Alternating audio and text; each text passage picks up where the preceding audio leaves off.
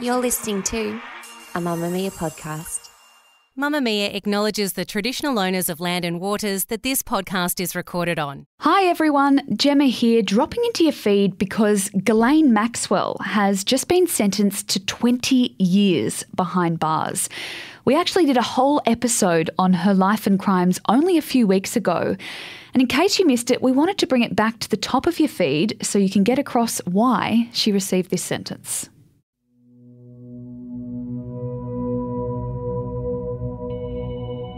It's only a few hours after sunrise on July 2, 2020. And FBI agents silently surround a luxurious, secluded home in the American state of New Hampshire as eagle eyed helicopters keep watch overhead. They've descended on a quiet, quaint corner of Bradford. The house they're targeting is nestled amongst the trees and has a sign on the gate that aptly reads, Tucked Away.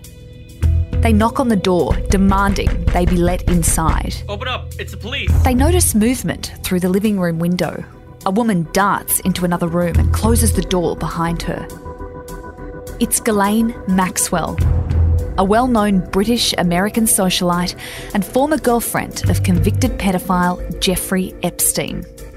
She's been evading the FBI's cat and mouse chase for more than a year, but they finally have her cornered. Within seconds, she's being led away in handcuffs. The daughter of one of the former richest men in Britain is about to be accused of grooming, recruiting, and trafficking dozens of teenage girls to be sexually abused by Epstein and allegedly some of the richest, most high profile men in the world. I'm Gemma Bath, and this is True Crime Conversations, a Mamamia podcast exploring the world's most notorious crimes by speaking to the people who know the most about them.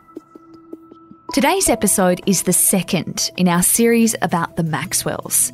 If you haven't yet heard our discussion about Robert Maxwell, it might be worth scrolling back to last week's episode to take a listen, because today we're focusing on his daughter, Ghislaine. Helping us do that is Nigel Cawthorne, the author of Ghislaine Maxwell, The Fall of America's Most Notorious Socialite. Ghislaine is well known for her association with Jeffrey Epstein, and in 2020, she was arrested for her role in his sex trafficking operation. Ghislaine grew up in a very wealthy family. Nigel, what did her childhood look like? Ghislaine was the youngest of 10 children, and she had rather a difficult time because her father's favourite, Michael, who he thought was going to take over his business empire, suffered a, a, horrendous car accident and was unconscious for many years and died just about the time that Ghislaine was um, born. So it was very difficult in the house. She became her father's favourite, but uh, he was. Um, an ogre. He spoilt her and abused her in equal measure. Is it true that he treated her a lot better than her siblings, even though he was a bit of an ogre to her at times as well? I think he spoiled them all. He abused them all. He he was a real tyrant of a father, a very unpleasant man. But then he came from a very difficult background himself. What about her mother? What was she like? We know so much about Robert because he was this media mogul. He was, you know, a huge personality. He was one of the richest men in Britain. But what about Betty Maxwell? Uh, she was French, so they married uh, just at the uh, end of the war in France. In fact, like, uh, Ghislaine was born in Paris. Well, she put up with her husband, including his serial infidelity, but uh, they kind of separated towards the end of her life. She was a, a considerable um, intellectual and had a great uh, academic career and uh, wrote rather scathing autobiography that really dished the dirt on her husband. I've heard her described as a bit of an enabler, which is a really interesting phrase given, you know, what we're going to be talking about with Ghislaine, but she enabled her husband to, you know, be the ogre that you describe him as.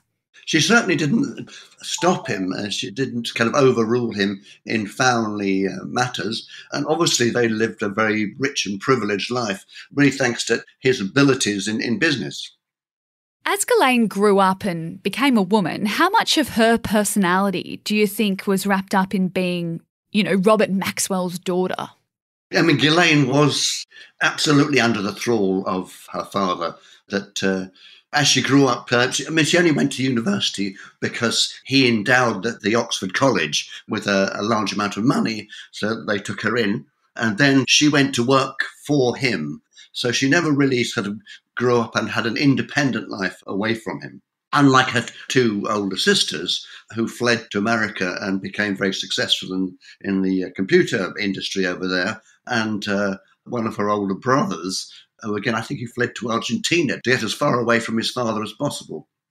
What was her job title while she was working with her father? Because I'll admit, in my research, I struggled to find one. She seemed to be kind of a master of everything. yes, a dog's body, I yeah. think. When he wanted to get into America and take over uh, New York Daily News, uh, she was sent out there to fix things. She, she was a very sociable woman, and she made all the contacts that he needed over there, including with Donald Trump and, of course, Jeffrey Epstein. Ghislaine's father dies in 1991, and it's revealed after his death that he's a crook. He stole hundreds of millions from his employees. How did Ghislaine cope with his death and the aftermath? Ghislaine almost immediately moved to New York to live there, and she already knew Jeffrey Epstein. It's been alleged that uh, a lot of the missing money was uh, sent to Jeffrey Epstein, who was very good at hiding bent money. And this is where she got really in tight with Mr. Epstein. And is it true that she met Epstein through her dad? No, she met her on a, of her own accord, but she was doing business for her father. They were tied together in that way. So um, he was instrumental in, in their meeting. Jeffrey Epstein, let's bring him in here for a second. Who was he, you know, in the early 90s? What was his business? What was he doing with himself? He was um, a man from a very modest background in Brooklyn, became a maths teacher, and then moved on to Wall Street. His uh, job was actually finding missing money for clients. And it's always rather mysterious exactly where his, his money came from. But as I say, a lot of it does seem to have come from uh, from Maxwell. And he does get quite wealthy, doesn't he? Or, well, seemingly wealthy. He gets enormously wealthy to the extent of what, what we normally think is an oligarch. Again, but rather mysterious where this money's been coming from. Were Ghislaine and Epstein in a relationship? Were they lovers? Because she moves from, you know, England to New York and after her father dies, she starts to spend a lot of time with Epstein. Is that where a, a relationship forms? Yes, in, indeed. In, initially, they do seem to have had a relationship, but then, then he had a great reputation as a womanizer. I don't think he really wanted to stick with one woman for too long. And of course, he, he had an eye for much younger women. Which we'll get to in a second. But how would Ghislaine have helped Epstein? Because with her on his arm, suddenly there would be a lot of doors that would open, right? Oh, yes, indeed. He, he was rather unassuming man socially. So she kind of organized his social life for him and introduced him to high society on both sides of the Atlantic, of course, that uh, she had royal connections here in Britain. Nigel, give us a taste. Give us a, an insight into who they were kind of bumping shoulders with during that time. There was a, a famous party, the Ball of the Century, which um, celebrated Andrew's 40th birthday, Prince Margaret's 60th, I think, and the Queen Mother's, I can't remember, was it 90th birthday, I think. So this was a must go to party. And of course, Ghislaine and Jeffrey Epstein turn up to this at Prince Andrew's invitation. So, yeah, they're rubbing shoulders with royalty, you know, dignitaries, presidents, everyone. Indeed. The who's who of America, England, basically the world, really.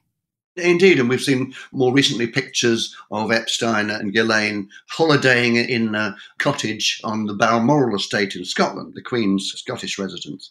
So, yes, so they were living the high life in royal circles.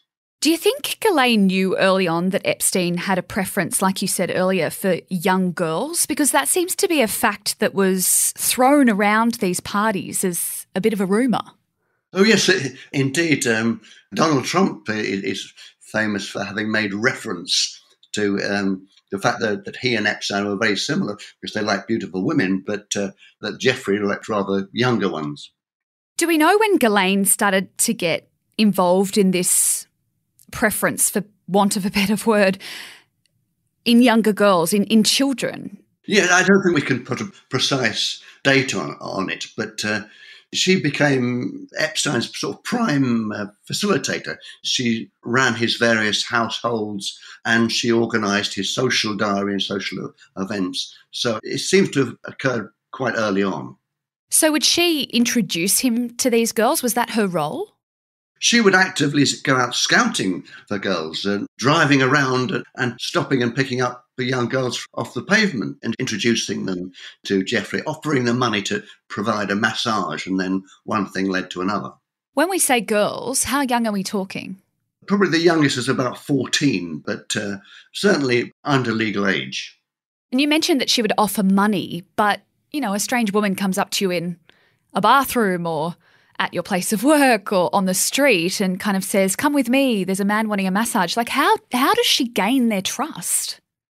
Well, first of all, they were rather impressed by her British accent, or as I always like to think of it, lack of accent, because this is the way it's supposed to be spoken. but uh, she picked up vulnerable young women who wanted money, or they wanted some sort of career, possibly in massage therapy or they had some sort of aspirations to be a model, and he had connections there. He was a partner in a modeling agency, and um, he had a, a, hand in Victoria's Secrets. So there were a lot of opportunities that he could offer them. What do we know about the kinds of things that happened to these girls, these children, behind closed doors with Epstein? It would begin with, with them being taken into the massage room where pretty soon his towel would come off and then they would be asked to undress to a certain extent, if not completely naked. Sometimes uh, Ghislaine would be there to kind of instruct them how Jeffrey liked his massage, and sometimes she would uh, strip off as well and encourage them to have sex with him. So, was she involved in the sexual activity itself as well? Yes, indeed. Yes, indeed. And how often was this happening? Was it, you know, weekly, daily? It seems to have been several times a day. Yeah, wow. He, he was very demanding in that department. And his victims, and there are hundreds.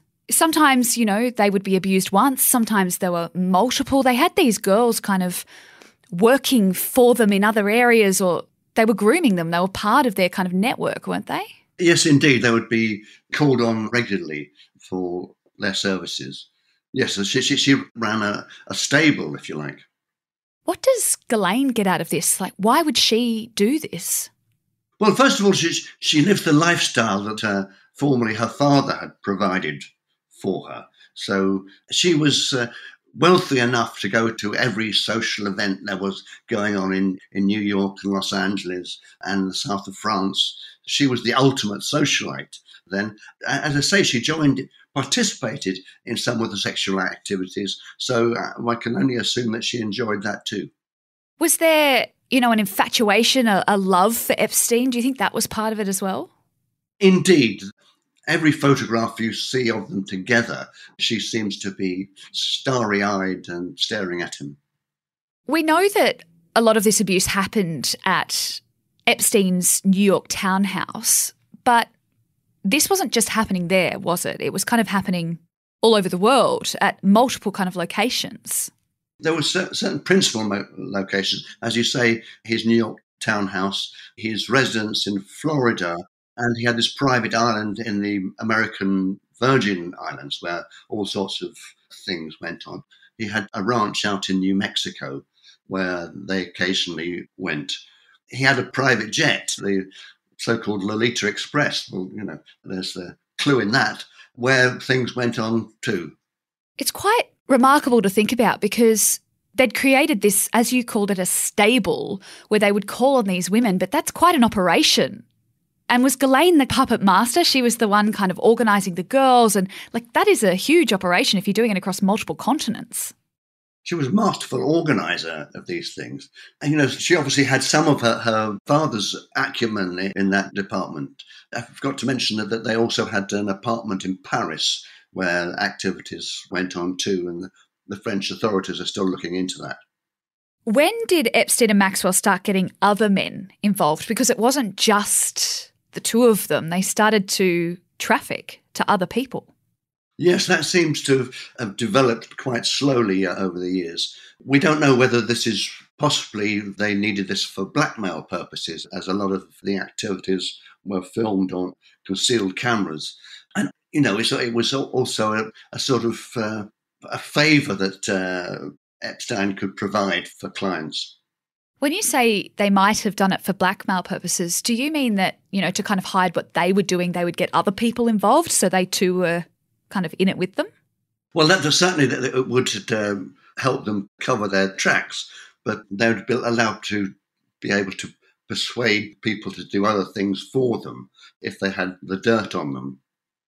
I want to get to Virginia a bit later and her story, but Nigel, I'd love to hear from you. You've done a book on this, you've researched thoroughly. What are some of the stories from the survivors, from the victims that have really stood out to you? It's quite difficult to pick out individual cases because there's simply so many of them, and they all seem to uh, follow the same pattern. And of course, when these girls finally get too old for Epstein to be interested, they're summarily dumped. And of course, some of them fall into drug abuse and, and, and have quite miserable lives subsequently. And of course, if he's managed to get them into sidelines like modeling or into Hollywood, suddenly once they've lost his patronage, then their careers kind of disappear too.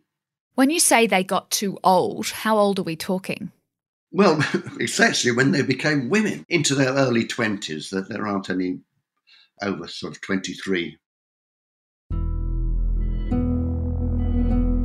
You're listening to True Crime Conversations with me, Gemma Bath. I'm speaking with author Nigel Cawthorne about the fall of Ghislaine Maxwell. I want to skip to 2005 because it's that year that a victim's parents go to the police and an investigation starts, an undercover investigation. And we're skipping forward again here a bit, but basically, nothing comes of a federal investigation, and Epstein is eventually charged with state offences, which he pleads guilty to, and he's sentenced to 18 months in prison. Where's Ghislaine in all of this? Does she get into trouble as Epstein is around this time? Uh, no, they seem to completely uh, ignore Ghislaine's uh, role in this. And indeed, later, when he's prosecuted again, there seems to be no interest in her until he's committed suicide. And they, they feel that they need someone to prosecute she kind of pointed out this in her defense that she says she kind of turned into a scapegoat because they couldn't prosecute uh, Jeffrey because he was dead. And there is some validity to that, except that, that obviously that she was kind of the mastermind behind the whole operation, so is culpable. Knowing what we know now, it's hard to believe that she wouldn't have been charged or uh, arrested at least in that you know initial investigation because she is so interlinked with this. Was this some kind of deal that epstein made or, or she made with prosecutors? Epstein was very generous to uh, the local police force in florida which helped a, a, whole lot this deal that was done originally back in, in, in florida being passed off on the estate charges. And you, remember, you say he, he, was given 18 months in jail. Well, most of that, he, he was allowed out every day to work, and most of the work took place in his own house. He was actually seeing other underage women during the sentence. So this wasn't even a slap on the wrist. If he was let off so lightly, why would they be interested in her? How was he let off so lightly? It was a really serious charge in America, money talks. He was immensely wealthy and uh, uh, he had important uh, contacts with people, so he could get away with just about anything he, he liked. And of course, after that initial charge and, and conviction, of course, he, he was essentially accepted back into uh, society as if nothing had happened.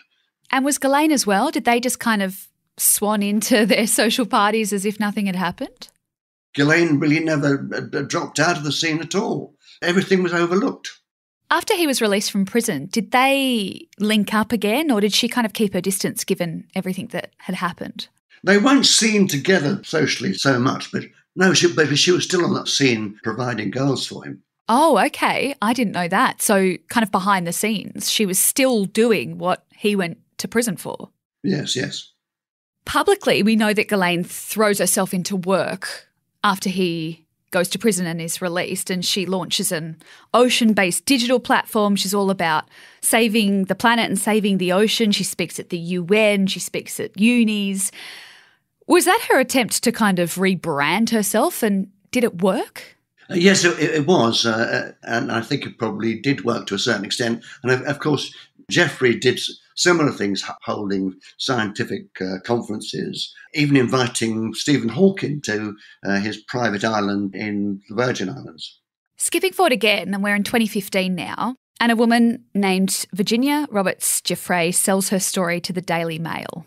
What does she say in those initial allegations? She says that, that she was working at the sports club at the spa in uh, Donald Trump's Mar a Lago uh, in Florida when she was approached by uh, Ghislaine Maxwell. She was sitting outside actually reading a book about massage therapy. So that was the perfect introduction for Ghislaine to come up to her and say, Oh, you're interested in that? I know a rich man who wants that sort of service. Come along, I'll introduce you and we can get you professional training and then takes her, her to Epstein's house. Whereas I, I, say that she's introduced to him, his towel comes off. Ghislaine's uh, showing her how Jeffrey likes to be massaged, and she's encouraged to strip off, and uh, Ghislaine does too. She goes on to say that she was held as a sex slave for three years and was trafficked to, and the name that is used in the article and the name that creates so many kind of ripples in, across the world is Prince Andrew. Yes, indeed.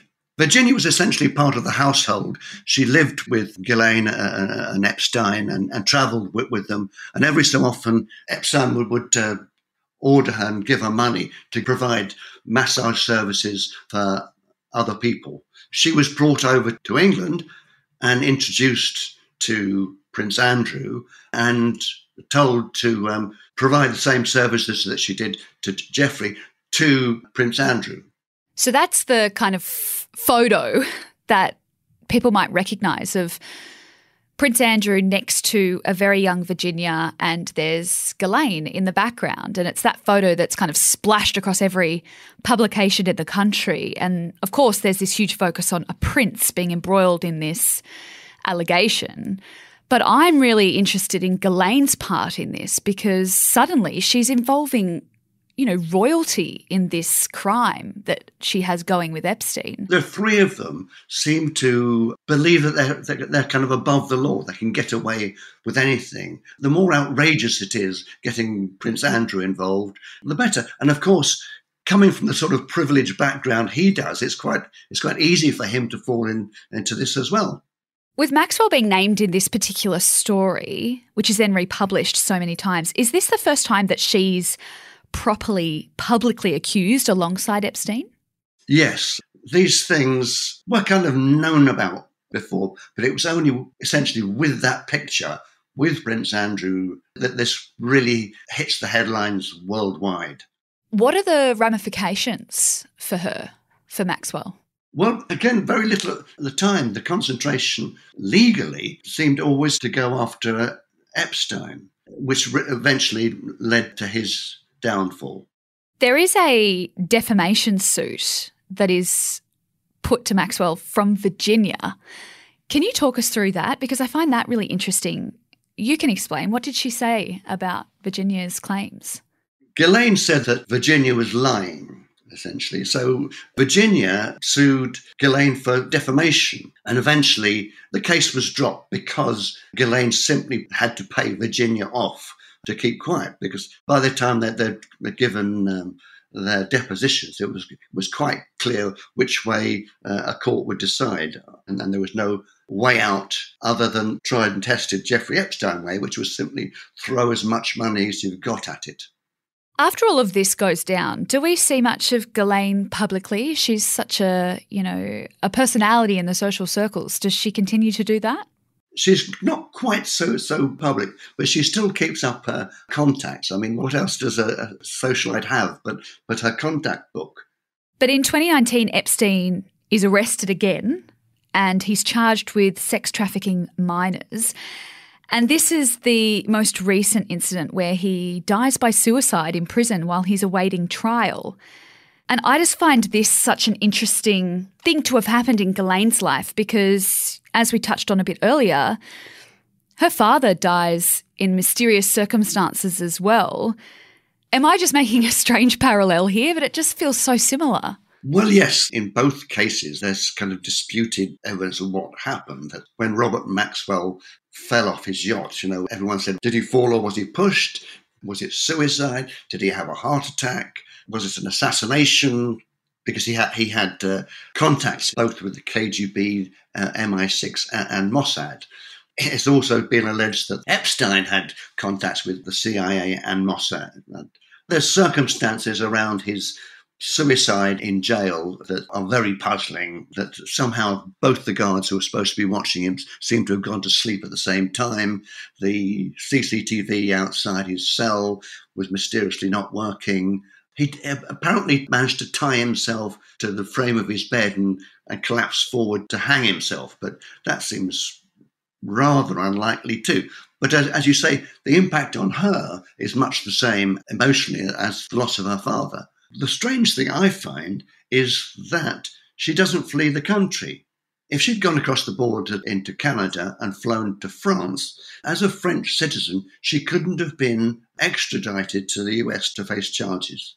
Strangely, Virginia's lawyer advised her of this uh, earlier on. She, when the defamation case was going on uh, uh and they were taking depositions, Virginia's lawyer said to Ghislaine you should either get in touch with, with the FBI and, and make a deal now or get the hell out of this country. And she didn't take that advice. She would be a, a free woman if she'd just simply gone back to France. That's so strange because she did things like change her name. And I read that she had tin foil wrapped around her phone to kind of like stop the authorities from being able to get her. So why go to all those lengths if you know, you could just easily skip over a few borders and be fine. It is very, very bizarre that, that she didn't do that, and I'm sure she's regretting it now. Yeah, so in 2020, she's dramatically arrested. Can you talk us through what happened? She was uh, in this hideaway in, in, New Hampshire. It was like they were um, arresting some sort of drugs boss. You know, there, there were helicopters, there were armed FBI officers, uh, there were the local police. Everyone was involved. She was grabbed. What was she arrested and charged for? Trafficking underage girls. And she was convicted of that, wasn't she? She was. There's a sentencing hearing coming up next month. And uh, Virginia says that she's going to give a victim impact statement.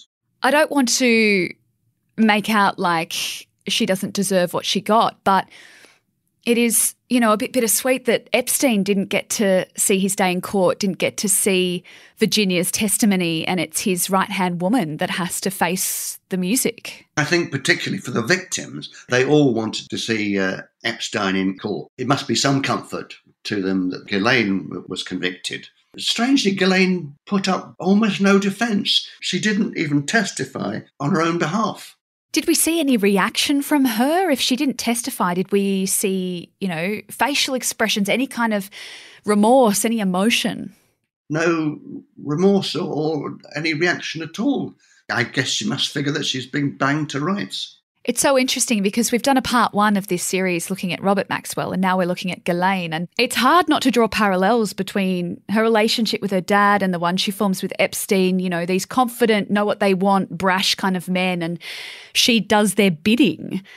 And then at the end of the day, she's there left to deal in both instances with their crimes. And there's a third brash character here, which is Prince Andrew himself in that car crash interview he did, he said it, he would uh, cooperate with the authorities uh, and hasn't.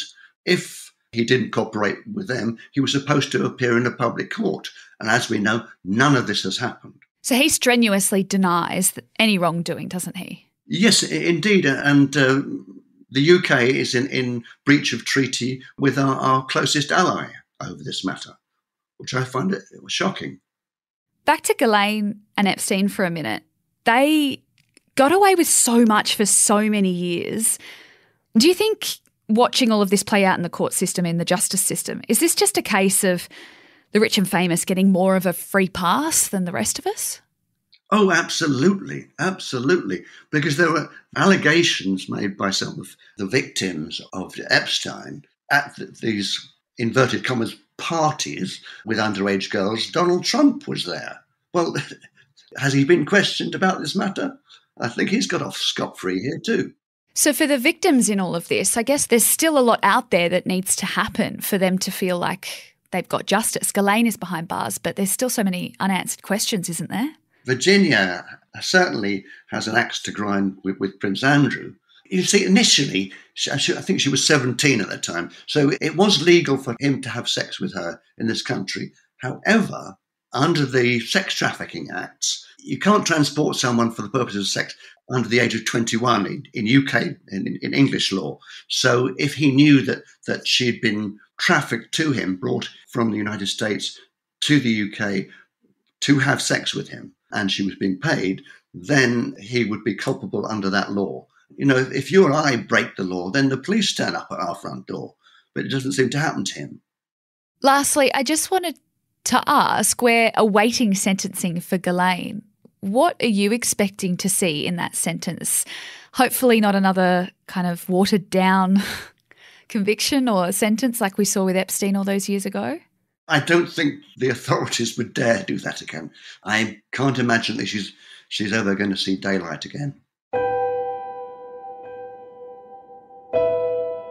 Nigel Cawthorne has been a writer for nearly 30 years. He's a journalist turned author who specialises in history and crime stories, several of which have become bestsellers. You can read more of his thoughts on this case in his book, Ghislaine Maxwell The Fall of America's Most Notorious Socialite, which you'll find linked in our show notes. True Crime Conversations is a Mamamia podcast hosted by me, Gemma Bath, and my executive producer is Gia Moylan. If you have a case you think we should cover next, get in touch with us. Send an email to truecrime at mamamia.com.au or join our online community. Just search for True Crime Conversations on Facebook and make a request to join.